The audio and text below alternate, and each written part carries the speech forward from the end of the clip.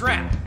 Why stop at lunch? You know I have a hunch. You want my homework too? Or would you like my shoes? My shirt's about your size. And here's the real big prize. It's my bike if you like. I don't care cause I've got a special place where I don't have to see your face. And I can have anything I please.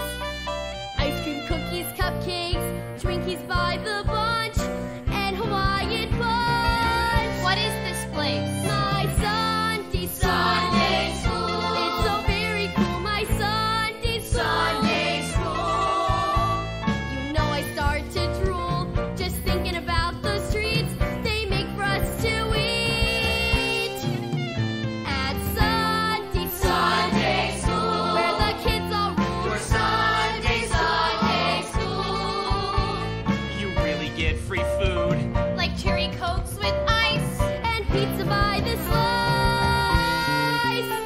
So take my lunch, it's my treat, take my lunch. I repeat, understand that we've got better plans than just to eat and run. It's really lots of fun in our own special place where we won't see your face at Sunday, Sunday school. It's so very cool, my Sunday, Sunday.